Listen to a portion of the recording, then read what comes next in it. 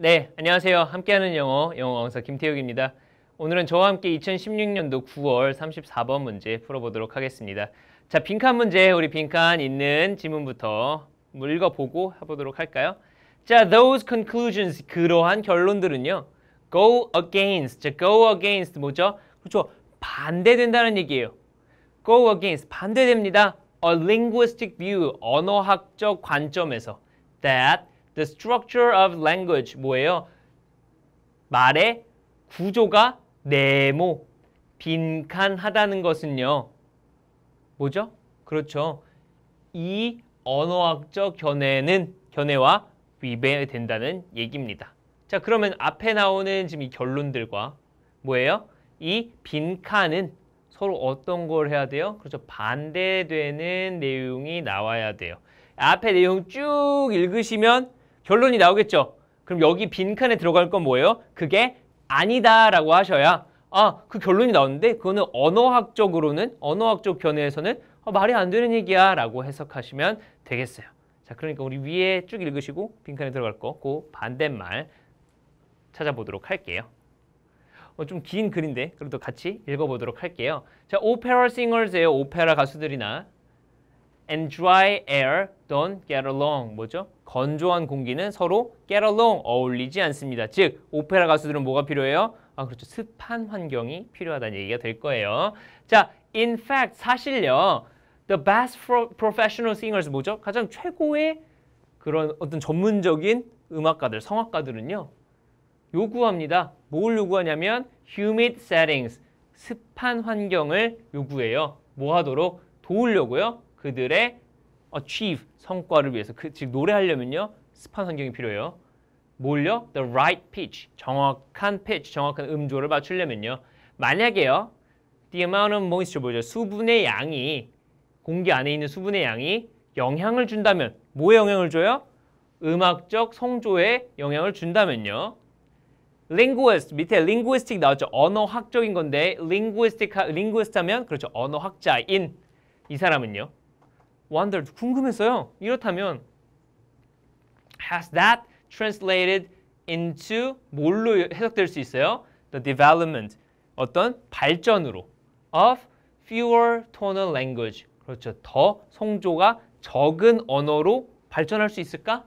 in locations lacking moisture. lacking moisture란 뭐예요? 그렇죠. 수분이 적은 지역에서는 톤의 다양성이 줄어들까 라고 생각을 한 거죠. 자, 우리 다시 해볼게요.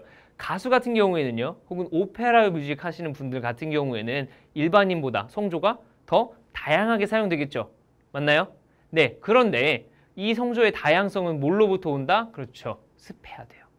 자, 그러면 이 언어학자는 생각한 거예요. 어? 성, 어, 그러면 습한 지역에서는 성조가 더 많은 언어가 있고 건조한 지역에서는 성조가 덜 있는 언어가 서로 형성이 될까라고 생각을 한 거죠.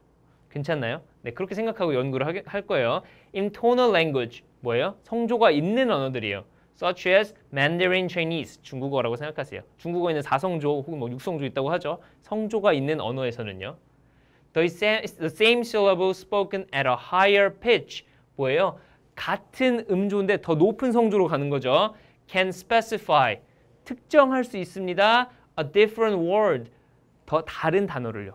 무슨 얘기예요? 자, 중국어를 안 해본 사람이라면 좀 어려울 수도 있어요. 하지만 아 라고 말했을 때랑 아 라고 말했을 때 혹은 아 라고 말했을 때 서로 다른 단어가 된다는 겁니다. 같은 아임에도 불구하고요. 다시 해볼까요? 아, 아 혹은 아 라고 말할 수 있는 거죠. 뭐예요? 다 아라고 표시되지만 성조에 따라서 단어의 뜻이 달라질 수 있다. 괜찮나요? 좋은 설명? 괜찮았다고 생각해요, 저는. 자, 계속 봅시다. 만약에요, spoken at a lower pitch. 더 낮은 성조로 발음된다면 지금 말한 게 그거예요. 괜찮죠? 자, in a survey of more than 3,007 languages. 뭐예요? 3,700개 이상의 언어들을 조사한 결과 그는 알아냈어요. year 알아냈죠. Those with complex tones 이렇게 톤이 복잡한 것은요. do occur 더 발생합니다. 덜 발생하네요. 어디에서요? frequently in dry areas 뭐예요? lacking moisture한 지역 어디? dry한 지역이겠죠. than in humid ones 그러니까 뭐예요? 결론적으로는 습한 곳에서 더 다양한 성조가 나타난다. 괜찮나요? 네, 그렇게 된다는 거죠. Overall, 게다가 only one in three, 30 complex tonal languages flourished in dry areas. 뭐예요? One in three, one in three 하면 3분의 1 non-tonal language가요 appeared in those same regions. 뭐예요? 그렇죠. 다 드라이한 지역에서만 계속 발생한다는 거예요. 뭐가 톤이 낮은 혹은 톤 아, 낮은 미안해요. 톤이 적은 성조가 적은 언어들이 건조한 지역에서 발견된다. 더 많이 발생한다는 얘기가 되겠습니다. 자, 그럼 뭐예요? 지금 이 사람의 발견은 그렇죠. 지금 환경에 따라서 성조가 많은 언어가 발생할 수도 있고요. 성조가 적은 언어가 발생할 수도 있다는 게 되겠죠. 괜찮나요? 자, 그런데 이러한 결론은요. 이러한 결론은 아까 뭐라 그랬어요? 반대가 돼요. 뭐와? 그렇죠. linguistic 언어학자들이 생각할 때는 절대 그렇게 언어가 발생하지 않아라고 했는데 요 언어의 언어학의 예, 미안해요. 앞에 연구 결과에 따르면 어, 환경이 언어에 영향을 미치는구나라고 할 수 있게 되겠습니다. 자, 그러면 답은 뭐가 될까요? 1번 can be acquired through repetition 반복에 의해서 아니죠. is independent of its environment 환경과는 독립적이다. 환경 영향을 받는다 안 받는다? 안 받는다. 자, 우리 반대되는 거. 얘는 환경의 영향을 받는다 안 받는다? 받아요.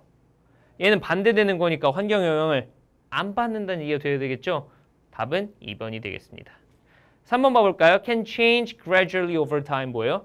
시간이 지날수록 계속 점자, 점진적으로 변한다 이런 얘기 없고요. 4번 affect 영향을 줍니다. How we see the world 세상을 어떻게 보는지 언어가 우리에게 영향을 준다 뭐 이런 얘기 아니고요. 5번 is influenced by musical pitch 위에 음악이 나왔다고 해서 음악 얘기가 나오는 건 아니가 되겠죠. 음악은 단지 아 그렇죠 우리가 왜 이 연구 결과를 지금 보고 있는 건지에 관한 인트로였어요. 자 괜찮나요? 우리 지금 글을 쭉 읽다 보면요 여기를 이렇게 요약해서 바로 쓸 수 있는 게 아니라 한 번 더 바꿔서 물어보는 문제였어요. 그렇기 때문에 난이도가 조금 더 올라갔을 것이라고 생각합니다.